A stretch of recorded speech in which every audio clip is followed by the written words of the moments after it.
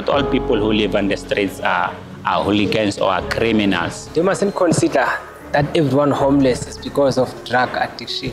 People are judgmental, you know. They look at you, they think probably you're on drugs, you're a thief, you're, you know, they don't trust you. The population of the homeless at Trinity is very diverse. I think some of the myths that we looked at was crime, drugs, things like that. Certainly the homeless population that we studied were, were not habitual drug users. And I think they weren't particularly prone to crime either. Once I get a job, I can build up my life and be independent. My family, I haven't seen them for five years. Wherever they are, I don't know how they feel. Life is pain. I feel the pain, but I don't cry. Life on the streets, you know, uh, is very tough, you know, because sometimes you don't know where to eat.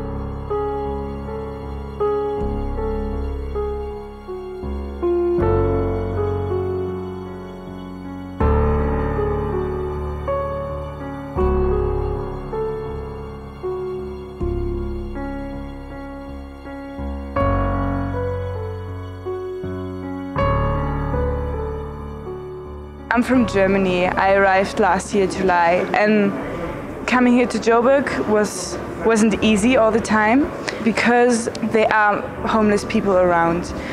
They are ignored because people don't want to face them. And my question was like, how can I help? I'm one of the volunteers at the soup kitchen here at Holy Trinity. The love that we are extending to the homeless people is real love because most of the homeless people out there. Some of them are there because of the circumstances that may have pushed them to the street. So it, it, it really helps a lot to know where your next meal is.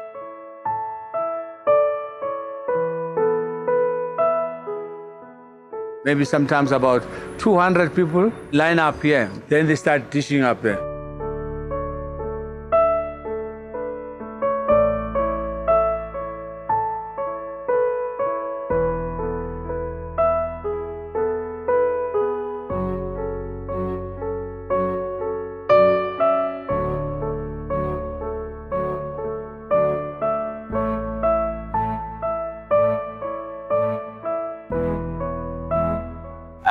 Always eat in the dustbin every day, every night. So I decided to come to Trinity so that I can get food. Some of us were immigrant, a local immigrant from Eastern Cape, KZN. So the church helped me to get an ID because I lost my ID. But I, I needed a, a full-time job. I don't want to rely on a family. And me, as a person who is academically gifted, that I find it like disappoint myself and too many people. You don't know what uh, people who are living on the streets are facing every day, you know, because you know you are being judged. Uh, people look at you, they, they don't care, you know.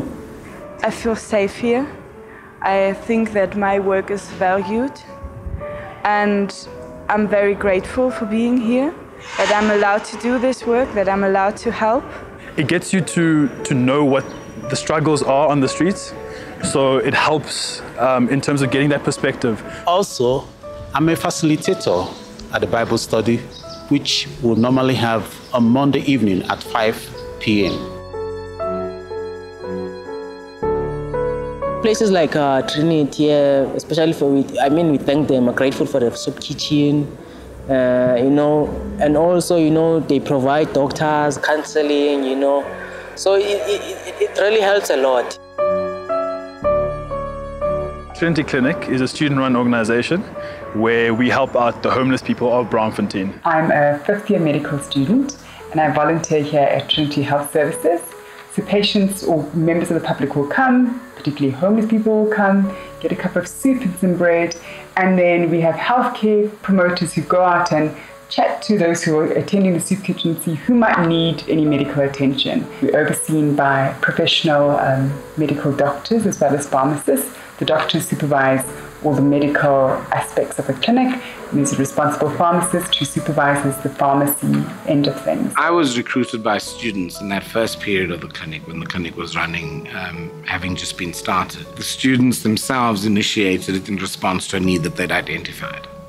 And for me, the real learning for students in this space is social justice, is this notion that here's a group of marginalized people in a whole range of ways from the broader community, even more marginalized than the patients they would normally see in the hospital.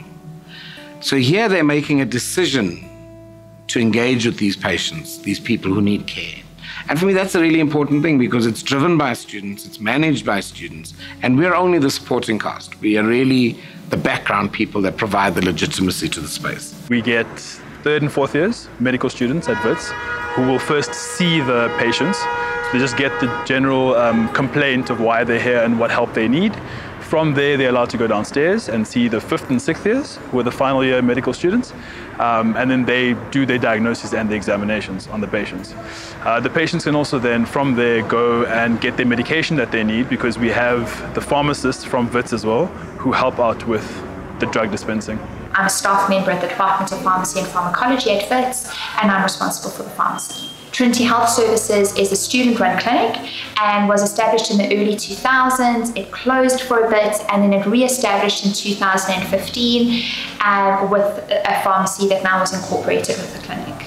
We offer a basic primary healthcare service um, for the homeless people of the inner city. So it's any minor ailments, um, basic bandaging, and basically our aim is to just try and help those people who often get missed by the rest of the healthcare services. Some of them are coming back on a, on a regular basis for care, and then we have to work with them and make sure that they get referred to more tertiary levels of care because this is a primary healthcare facility. So if we're not able to adequately attend to whatever medical condition they have, then we need to refer them to either Charlotte Maxeke or Helen Joseph Hospital or Hillbrow, which is another one of our um, referral sites. Then I got TB last year. Then I go to the clinic. I didn't know what is what is happening to me. So they said, okay, they checked me uh, for HIV. I said, no, it's fine. Then they checked me for, for TB. Hey, they caught me for TB. HIV is a huge problem. So I and a medical student, Graham Lawman, we then set up a, a research project. We then launched the offer of uh, testing to people who, who were coming to the the homeless soup kitchen. And all of that data was then kind of crunched by uh, Graham and myself. Anecdotally, poverty and HIV, there's a strong connection. But uh, we found that in actual fact, homelessness in itself wasn't a strong indicator for vulnerability to HIV infection. We found that it was, in actual fact, employment. Employment was protective. If you're employed, you are less likely to do those kinds of things which would expose you to HIV. So the study was published in the, uh, the South African HIV Clinicians Journal and was called uh, HIV amongst the, the urban homeless. This is a very fulfilling service that I personally think I provide to our homeless population. So it gives me courage and motivation because of the fact that I know that I am helping someone. My hope is to create a healthier and productive society. I like the fact that we can come here and it's down to the basics and it's not exaggerated and you can do so much by just offering up so little of your time and it can make such a huge difference for so many different people. I mean, we see 20, 40 people per night and this wouldn't have been possible if it weren't for people that were willing to come here and volunteer and give their own time to help those in need. It's awesome to be a part of such a like a group student effort. Um, it's nice to be a part of something where the students are the ones um, pushing this initiative and coming up with ideas and thinking of ways to better improve this for the people that we're serving. That also is another huge plus is actually meeting the people that we serve um, the stories that you hear, the lessons that you learn. I mean, you, you can't compare and you can't actually quantify it. It truly is incredible. So for me, it's a great opportunity as a lecturer to be able to volunteer um, and to be able to work in a clinics such as Trinity Health Services with the students in serving a community. And the second thing is that I am Catholic, so for me to be able to, to act out my faith and to be able to help other people is an amazing opportunity. What excited me about Trinity Clinic was being able to come through and help out the homeless people here at Braamfontein. We can come through, hear their stories, um, listen to what struggles they have, and try and help out however we can. That's a highlight for me, being part of a community that is trying to provide holistic care to people who are most vulnerable. Our hope is that the clinic continues. Um, and that as the clinic continues, the clinic continues to incorporate other disciplines. Services that the community really are in need of are dental services, psychology, social work. And as we expand the disciplines, we're actually teaching students to work as an interprofessional team. I'd love to see um, every health science discipline getting involved. I mean, something like dentistry for this community is so crucial and to have them becoming involved would be phenomenal. To have OTs, so occupational therapists, physios, um, nurses, um, psychologists. I think to see it become a true representation of like what a multidisciplinary team should be would be phenomenal and even better to have it at student level to start initiating and forming those relationships going forward. I think that would lay a foundation that would be like no other for the future going forward that makes me excited as well is to see okay where are we at now? How are we addressing our patients? But also how are we making sure that in future we better address their needs and help them out of homelessness and back into being contributing thriving members of our society? Our biggest cost is medicines for our patients. They don't pay a cent when they come here. We don't ask them for any form of identification. Our biggest challenge is funding um, is to establish a service such as this that we are not funded by the Department of Health means that we've got to raise our own funds. Um, the second biggest challenge, I guess, is getting people to volunteer, um, professional staff, pharmacists, and doctors. And as we expand the services, we'll need more volunteers. The clinic exists at the moment in a charitable space. And I think that if people could recognize the impact that students are having, that I would hope it translates into some kind of support to the clinic. And I think the students have begun to, in, in their many projects, to identify various areas and ways of supporting.